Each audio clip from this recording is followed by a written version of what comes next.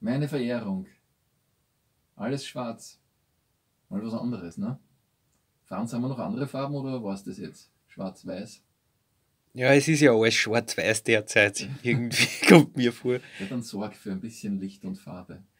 Ich bringe die Erleuchtung. Hallo!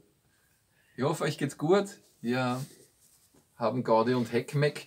Ähm, trotzdem möchte ich was Ernsthaftes erwähnen. Wir haben nämlich nach den letzten Videos tausende Zuschriften bekommen von besorgten Menschen, die sie fragen, was ist denn los mit ihr? Wo ist sie denn? Ähm, die Gitarre vom Machercheck. Ja, und die klassische graue, die Graue Madame, wie ich sie nenne, liebevoll, ähm,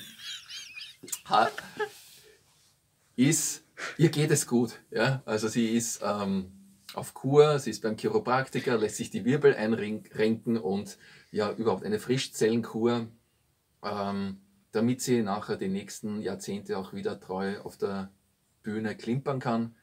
Und währenddessen haben wir hier die Jackie de Rode, damit wir weiter Musik machen können im Studio. Ein bisschen üben, uns vorbereiten auf den großen Tag. Der wird nämlich kommen. Und eins wissen wir fix, wir werden heuer noch einmal auf der Bühne stehen.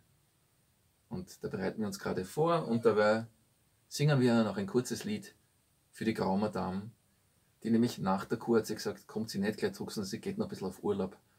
Macht Urlaub in Wien. Urlaub in Wien, das ist Urlaub im Herzen. Urlaub in Wien, weil nur da kann ich sein, wie bin. Schicken Sie den Stress auf eine Reise und sagen Sie, komm schon nach, wenn's mir mal passt.